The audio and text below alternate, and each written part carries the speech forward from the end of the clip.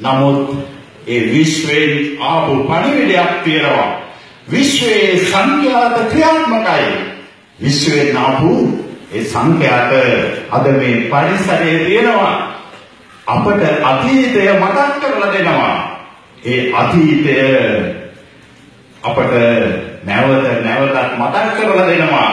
වැදගත් දෙයක් කරන්න 2020 2020 වසරෙන් පස්සේ මේ ලෝකයේ අලුත් දෙයක් සිද්ධ වෙනවා. විද්‍යාව භෞතික විද්‍යාව පැත්තකට දාලා අලුත් විද්‍යාවක් බිහි වෙනවා. මනසේ ක්‍රියාකාරීත්වය මත පදනම්ව ඉදිරිපත් වෙන විද්‍යාව ඒ විද්‍යාව මත මේ ලෝකය පාලනය වෙනවා. අද මේ ලෝකයේ සියයට අසුවකට පමණ ජනතාවක් කිසිම ආගමක් නැතුව ඉන්නවා. විද්‍යාවෙන් ඔප්පු කරලා පෙන්නන දෙයක් පමණයි ඒ අය පිළිගන්නේ. ඔස්ට්‍රේලියාවේ බොහොම අය අනිත් රටවල් වල ඒ වගේමයි. දැන් 2020 පස්සේ අමුතු විද්‍යාවක් බිහි වෙනවා. මේ විද්‍යාව මුළු ලෝකෙම පිළිගන්නවා. මේ විද්‍යාව ලෝකෙම පිළිගන්නවා. පිළිගත්තට පස්සේ ඒ ජනතාව මේ විද්‍යාව අධ්‍යයනය කරන්න ගන්නවා. අධ්‍යයනය කරාට පස්සේ මුළු ලෝකෙම ජනතාව දැනගන්නවා මේ උතුම් ධම මේ ලෝකෙට ඉදිරිපත් කළේ කවුද කියලා. අන්න එදාට අර ප්‍රශාන්ත මහත්තයා අතන කියලා තියපු දේ බොරු වෙනවා. මොකද්ද? ලංකාව සිසාරායි බුදුදහම පැතිරෙනවා කියලා.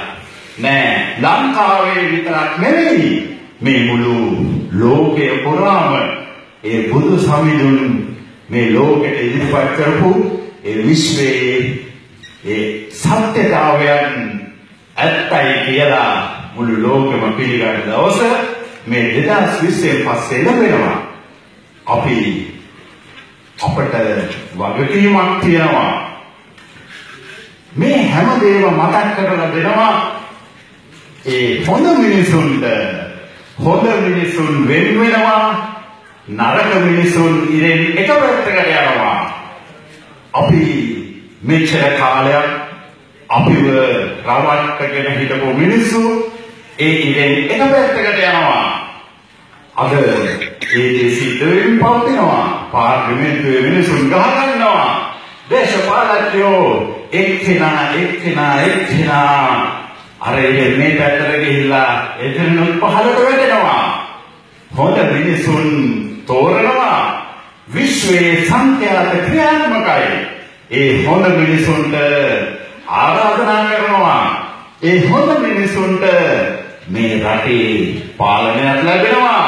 මේ රටේ පාලනය විතරක් නෙවෙයි මුළු ලෝකෙම ඒ ලෝකෙම මිනිස්සු පාලනය කිරීමේ හැකියාව මේ ලංකාව තුළින් බිහිවෙනවා. ඒක අනිත් අන්න දැන් ඒ කාලය එළඹෙමින් පවතිනවා.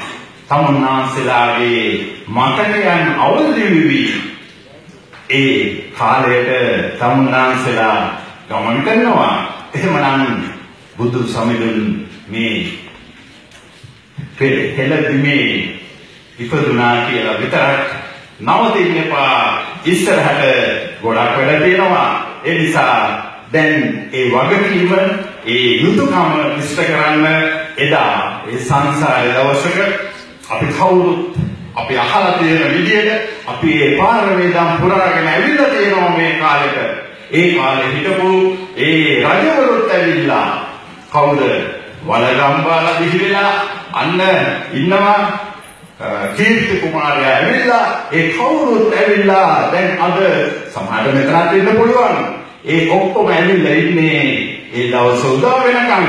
2020 පස්සේ ඒ කාලේ එනවා. අපි ඒ සංඛ්‍යාතයන් අධ්‍යයනය කරලා තියෙනවා ඒවා දැකලා තියෙනවා අපි හිතන්නේ අපි දකින්නේ බොහොම මේ ඇස් දෙකෙන් දකින දේවල් විතරයි ඇත්ත කියලා. නමුත් අපේ ඇස් හැදිලා තියෙන්නේ මේ සූර්යයට සාපේක්ෂව සූර්යයට අනුගත වෙලා ඊට එහා තියෙන දේවල් අපි අපේ ඇස් දෙකෙන් දකින්නේ නැහැ. නමුත් අර පුංචි කාලේ අපි බණවලට අහලා තියෙනවා අපේ ස්වාමීන් වහන්සේලා කියනවා ඒ ඈත ලෝකවල ජීවීන් ඉන්නවා ඒ එක ලෝකෙක ඉන්නවා ගොඩක් හිතන්න පුළුවන් අය සිතෙන් ගොඩක් දේවල් කරන්න පුළුවන් අය දියුණු ජීවීන් ඉන්නවා ඉඳපු ගමන ඒ ජීවීන් එහෙ චුත වෙලා ඇවිල්ලා මෙහි උත්පත්ති ලැබනවා කියලා. ඔන්න දැන් ඇවිල්ලා ගොඩක් අය ඒ අර පෙරලිය කරන්න. ඒ පෙරලිය හෙටානෙද සිද්ධ වෙනවා. තමුන්නාන්සලා මේ කතා ඔක්කොම අහගෙන තනියම නිවන් දකින්න යන්න ඉස්සෙල්ලා තනියම නිවන් දකින්න ඉස්සෙල්ලා මේ ලෝකේ ගොඩාක් දුක් විඳින මිනිස්සු ඉන්නවා. ඉපදුන දවසේ ඉඳලා මැරෙන දවස වෙනකන් දුකින් දුකින් ජීවත් වෙන මිනිස්සු ගොඩාක් ඉන්නවා. ඒ මිනිසුන් වෙනුවෙන් යමක් කරන්නට තියෙනවා. ඒ දේ කරන්නයි මේ හැම දේම සිද්ධ වෙන්නේ. එහෙමනම් එදාට එකතු වෙන්න ඒ පණිවිඩය තමුන්නාන්සේලාට ලැබෙනවා.